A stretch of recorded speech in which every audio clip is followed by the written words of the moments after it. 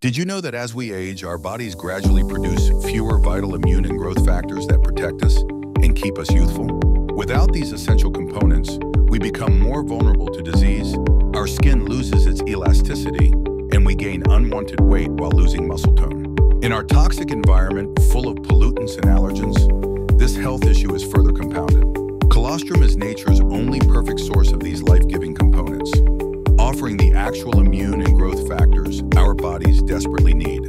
Studies have proven that the powerful growth and immune factors in colostrum can bring the body to its optimal state of health and well-being. Colostrum not only supports a robust immune system, but also helps us resist harmful pollutants, contaminants, and allergens.